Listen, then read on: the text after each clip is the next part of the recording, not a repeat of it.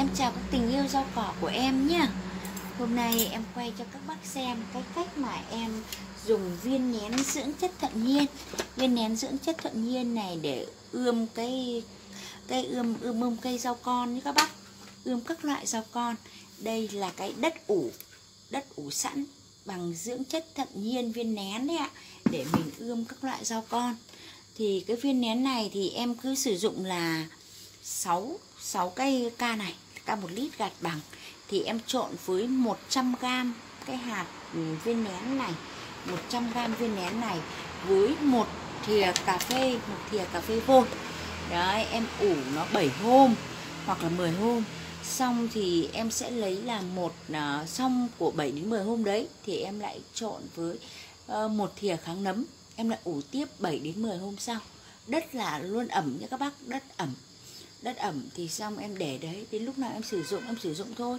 Còn đây là em đã lấy ra em à, cho vào một đầy xô em cứ làm như thế đầy xô mà em đã lấy ra để trồng ươm dưa và em ươm cây rau con à, ươm cái bọ su hào bắp cải trước rồi hôm nay em lại làm thêm.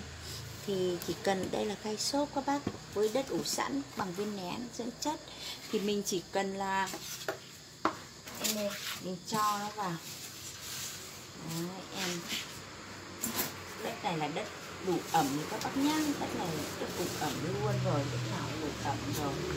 Đấy, đây là em giả sử em làm cho các bác xem này. Đây là mình làm ngay cái lúc đầu. Đấy. lúc đầu là cho đất vào như thế này. Các bác cọ gõ một chút, các bác dí dí dí dí nhẹ nhẹ này.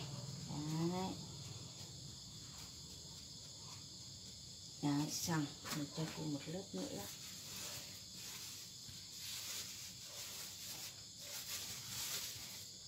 Nhỏ này ạ.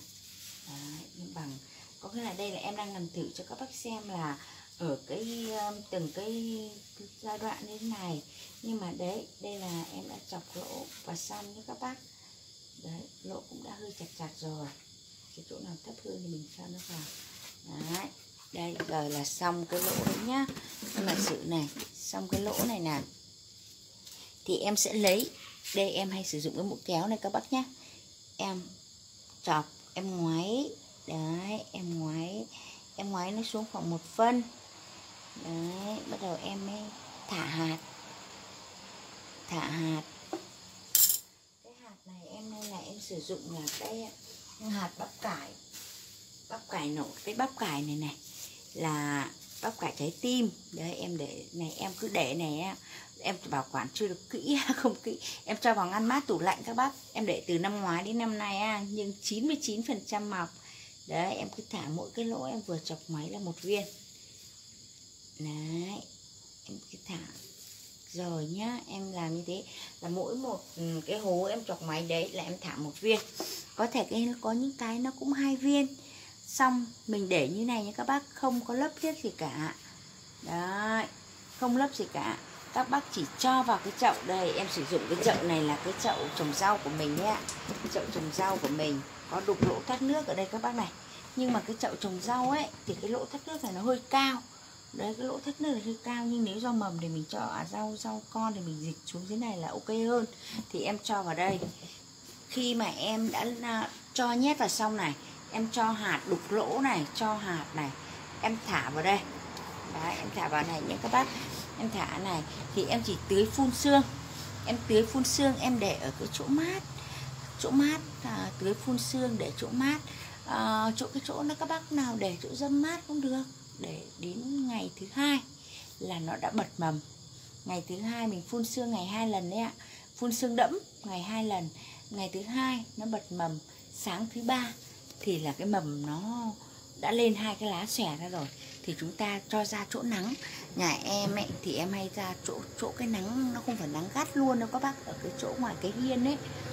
Trên nhà em nó cũng đang cũng có cái mái nhưng cái này nó là cái hiên nắng nhá làm cây không không bị uh, không bị nghèo nghèo cây đâu. Đây bắt đầu đây là sản phẩm của ngày thứ ba em theo cái nắng ở đây thì em hay ra chỗ chỗ cái nắng nó không phải nắng gắt luôn đâu các bác ở cái chỗ ngoài cái hiên ấy. Trên nhà em nó cũng đang cũng có cái mái nhưng cái này nó là cái hiên nắng nhá làm cây không không bị uh, không bị nghèo nghèo cây đâu. Đây bắt đầu đây là sản phẩm của ngày thứ ba em treo cái nắng ở đây là sản phẩm của ngày thứ tư này khi đây, khi sản phẩm ngày thứ ba bắt đầu trồng cây để ngày hai ngày ở trong chỗ mát, ngày thứ ba là mình cho ra chỗ nắng này các bác này. Đây đây, sản phẩm của em nhé. Đây là sản phẩm của ngày thứ tư. Các bác thấy mọc đều 199 phần trăm luôn đấy. 99 phần trăm mà hạt này là, năm ngoái là em mua của bạn Thu Nguyễn và năm nay là bạn Sáng Phan bán cùng dòng với bạn Thu Nguyễn đấy ạ. Đây là bắp cải trái tim để từ năm ngoái đến năm nay mà em để ngăn mát tủ lạnh mọc 99 phần trăm. Đấy cho nên em bảo bạn Sáng Phan rồi năm nay ông ấy để cho tôi là à, khoảng một gói đi. Năm ngoái em mua một gói là trăm tám hay là 200 em không nhớ rõ đâu. Em cứ để để em dùng dần. Vì em cứ dùng nhà em dùng nhiều mà mỗi lần nhà em hàng 200 chậu treo ấy nên là em cứ lấy cái đó để em để đấy. Lúc nào em sử dụng thì em sử dụng đấy, khi mà hạt bắt đầu lên ngày thứ ba thì em cho ra nắng nha các bác. Đây là ngày thứ tư này. Thì em sẽ cho,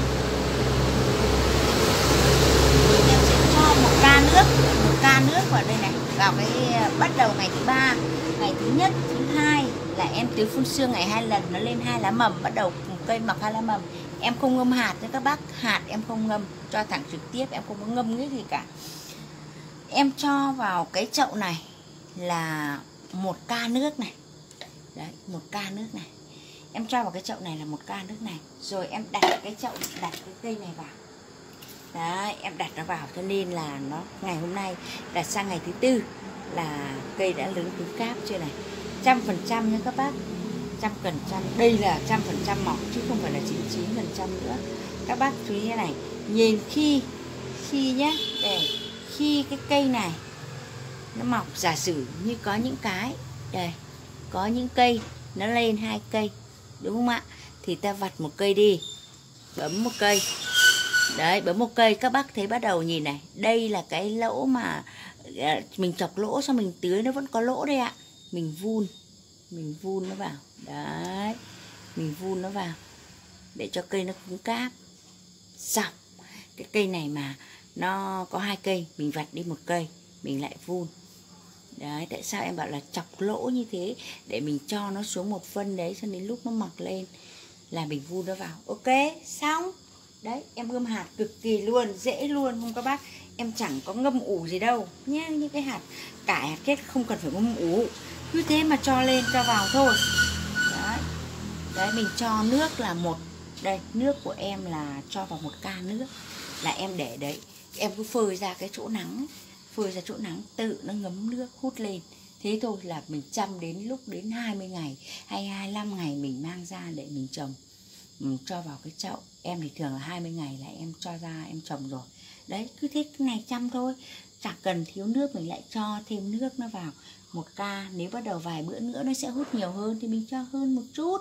Đấy, ngày thứ bảy em vẫn tưới như các cây con là em hòa cái đậm đặc này. Ngày thứ bảy nhé các bác ngày thứ bảy em vẫn tưới cái đậm đặc này cho nó. Đấy, em vẫn hòa cái đậm đặc này là 100ml với 20 lít nước nha các bác. 100ml với 20 lít nước thì em hòa em tưới. Em hòa em lấy cho vào cái ô xoa này ui, nhiều khi em lười em cũng lấy vào cái ca này này. Đấy em chót nhẹ nhẹ từ từ trồng. không. Ừ, cho vào cái chậu. Em thì thường là 20 ngày là em cho ra em trồng rồi. Đấy cứ thế cái này chăm thôi. Chẳng cần thiếu nước mình lại cho thêm nước nó vào một ca nếu bắt đầu vài bữa nữa nó sẽ hút nhiều hơn thì mình cho hơn một chút. Đấy ngày thứ bảy em vẫn tưới như các cây con là em hòa cái đậm đặc này. Ngày thứ bảy nha các bác. Ngày thứ bảy em vẫn tưới cái đậm đặc này cho nó. Đấy, em vẫn hòa cái đậm đặc này là 100ml với 20 lít nước nha các bác. 100ml với 20 lít nước thì em hòa em tưới Em hòa em lấy cho vào cái ô xoa này ui, ừ, nhiều khi em lười em cũng lấy vào cái ca này này. Đấy em chót nhẹ nhẹ từ từ còn không em lấy ô dạo em chót này. Thì cái nước nó lại chảy xuống dưới cây chậu này. Thế là nó tự hút lên nữa thôi đấy. Chỉ cần như thế em chỉ cần tưới hai lần thôi các bác nhá. Ngày thứ bảy em tưới cho một lần đến ngày thứ 12 hoặc 10 15 em lại tưới cho một lần nữa. Kể cả thích thì mình cái ngày 20 trước khi cho lên cây lên chậu to ấy mình lại tưới tiếp cho nó một lần nữa cho nó khỏe cây chả sao cả. Thì lúc ấy các bác vẫn có thể dùng là hai lần đậm đặc một lần men sữa. Đấy hai lần đậm đặc một lần men sữa. Thì các bác cứ tưới như này cứ tưới thế thôi. Cái men sữa này nó cũng giúp cho cây có nghĩa là chống cho vàng lá nữa. Cho nên là mình cứ trồng dùng xen kẽ như thế này các bác nhá. Đấy sản phẩm cái uh, dưỡng chất thuận nhiên của em ấy là nó sẽ giúp cho các bác là rất là tiện, gọn gàng, nhẹ, mà không còn phải cái nọ, cái kia đâu, không cần phải phân nọ, phân kia đâu. Nên nó tiện lắm các bác ạ, mà nó thơm, nó tiện lắm cứ thế thôi. Rau nhà em này, đấy, em quay cho các bác xem nhá. Đấy, nó tự hút nước lên. Đấy, nó tự hút nước lên này, nước lúc nào bong bong bong bong bong bong bong bong bong bong bong đấy, nó tự hút lên thôi ngày thứ bốn rồi đấy, đẹp. Cứng cáp cây không ạ? Đấy, cho luôn ra chỗ nắng cho luôn ngày thứ ba bắt đầu ngày thứ ba cái cho ra luôn sáng thứ ba cho ra nắng ngay. Đấy đây giả sử như là cái cái cốc ươm hạt thì em cũng đấy cắt cái đít này một tí xong đầu mình ươm cây mình tưới cho nó. Đó, tưới ẩm cũng tưới phun sương đến khi mà cây bắt đầu lên hai lá mầm. Đấy lên như thế này. Cũng là ngày thứ tư đây. Cái này thì em lại phải ươm hạt đấy các bác. À, cái này phải ủ hạt em ủ hạt đấy ạ. Em ủ hạt mất hai ngày à hơn ngày đấy, em ủ hạt cho vào đây. Thì nó mình lại vùi vùi nó lên, đấy. Đầu tiên là nó sẽ như này. Nó lên, nó sẽ ngon ngon ngon ngon này, đúng không ạ? Em lại, đấy, em lại cho thêm đất vào. Em lại cho thêm cái đất ủ vào cho nó cứng cắp cây. Đấy, thế thôi. Đấy, dễ lắm các bác ạ. Đấy là ươm dưa của em đấy. Dưa hàn quốc đấy. Dễ cực các bác cứ dùng cái sản phẩm dưỡng chất thuận nhiên này các bác làm kiểu gì cũng được. Chẳng cần phải là loại nọ, loại kia cho nó cạnh dạnh đâu. Đất này là cứ đất cũ nha các bác. Em là sử dụng đất cũ này. Đấy, đất chọn tỷ lệ một một đấy, đất xốp đấy. Khi em cứ trồng bao nhiêu lượt rau rồi em lại lấy ra em ươm cây con. Cây con của em nó vẫn lớn ở mầm, mà em chẳng thấy bệnh thật sự nó chẳng thấy bệnh. Nhưng cái cây nào mà nó nhỏ quá nhá. À một cái nghiệm nữa các bác này. Nếu cây nào nó xấu nó nhỏ các bác bỏ luôn. Các bác đừng có mà cố gắng trồng. Bởi vì các bác đừng có nghĩ là à mình sẽ chăm cho nó lớn. Nó không lớn đâu. Nó tự nhiên sau này nó không lớn. Cái cây mà các bác các em trồng em thử em biết rồi. Cái bắp cải ấy, có cái cân tám. À, nhưng cái mà cây con con còi cọc có một lạng hai lạng thôi đấy, cái bắp cải là cái kiểu như thế. Đấy là em đang quay cho các bác xem là cách ươm hạt bằng viên nén dưỡng chất tự nhiên, ủ đất để sẵn nha các bác. Đấy, thích không? Trăm phần trăm hạt mọc để từ năm ngoái đến năm nay. Nên năm nay em vẫn cứ phải mua một hạt ờ, một gói hạt giống này để em cứ để em dùng dần. Em dùng quanh năm suốt tháng, cái bắp cải với su hào, súp lơ này em trồng quanh năm suốt tháng. Nhà em hay có cái kiểu thích ăn thì em trồng. Đấy. Cho nên em cứ quanh năm suốt tháng em trồng thôi. Thế nha các bác mình cứ chăm như thế thôi. Dễ ơi là dễ luôn ấy. Em chào các bác nha.